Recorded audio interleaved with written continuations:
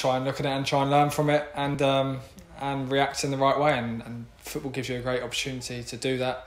There's not a long turnaround in between games. Um, so, as a club, you know, as staff and as players, we're looking to have an extremely positive reaction from that game, and that's all you can do. The only way we, we're going to reassure fans and, and, uh, and anyone really is to win games of football and get points on the board.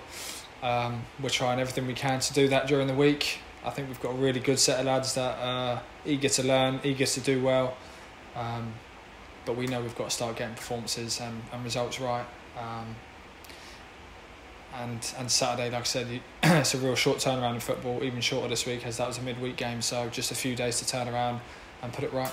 We've got to have the belief that we can go and win the game, and um, we've got to do the basics well in the game and, and see where that takes us. Um, like I said, I believe we've got the talent which will come through and help us win games.